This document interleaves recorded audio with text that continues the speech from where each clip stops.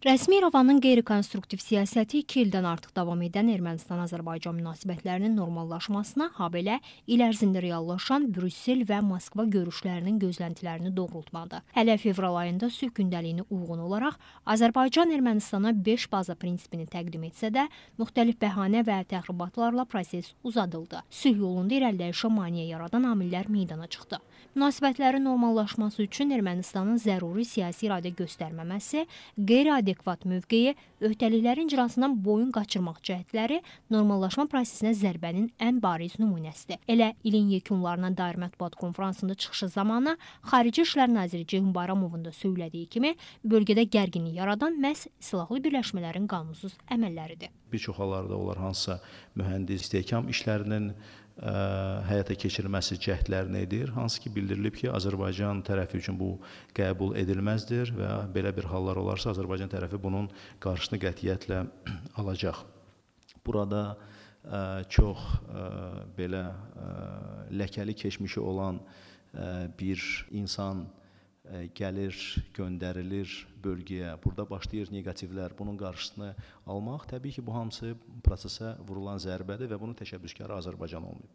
Təbii ki, Azərbaycan dövləti bunun bu provokasiyaların qarşısını almaq iqtidarındadır və bunun qarşısı alınacaq. Təhlükəli tendensiyalardan biri də odur ki, Ermənistan danışıqlar predmetini ictimai müzakirəyə sığdırır. Bu da ondan xəbər verir ki, rəsmi İrəvan bir dövlət kimi qeyri-ciddi addımlar atır. Şübhəsiz ki, belə olan məqamda heç bir aktor Ermənistana güvənmir, çünki aydın məsələdir ki, sözü ilə əməli üst-üstə düşməyən bir dövlətin son nəticədə hansı qərar verə biləcəyi və hansı aktoru təhlükə altında qoya biləcəyi məlum deyil. Bu baxımdan da Türkiyənin Xarici İşlər Naziri Mövlud Çavuşoğlu bildirdi ki, Laçın yolunda baş verən son hadisələr Ermənistan üçün səmimiyyət testidir. Eyni zamanda Rusiya tərəfindən də olduqca kəskin deməli tənqidlər Ermənistan üçün gəlir ki, Mariya Zaxarova Paşinyanı bildirdi ki, heç bir halda baş verən reallıqları, siyasi prosesləri anlamır, düzgün dərk etmir. Bu gün Ermənistan faktorundan Azərbaycan və Türkiyə əleyhinə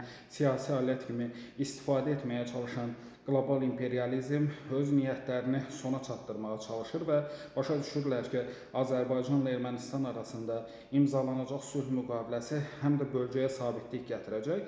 Amma tarix boyu Ermənistandan Türk dünyasının birliyinə qarşı istifadə edən qüvvələr bölgədə sülhün sabitliyin olmağında maraqlı deyillər. Ermənistanın sülhdən yaymaq cəhdləri sözsüz ki, həm də regional məsələlərin həlli baxımından vaxt udmağa hesablanıb. Ermənistan vaxt tutmaq, əldə olunan razılaşmalardan boyun qaçırtmaq və həm də hansısa bir möcüzəyə ümid edərək ə, sülhdən yayınırdı və ə, buna baxmayaraq Azərbaycan sülh naminə qətiyyətli iradəsini nümayiş etdirir və Azərbaycan üçün ən önəmli konseptual mahiyyət daşıyan məsələ bütün regional problemlərin ə, vahid bir sülh müqaviləsində həlli ilə bağlıdır və Azərbaycan heç bir məsələni gələcək nəsillərə, gələcək dövrlərə saxlamaq istəmir. Təcrübə sübut edir ki, sülh prosesinin əngəllənməsi kommunikasiyaların açılmasına, Ermənistanın regionun iqtisadi həyatına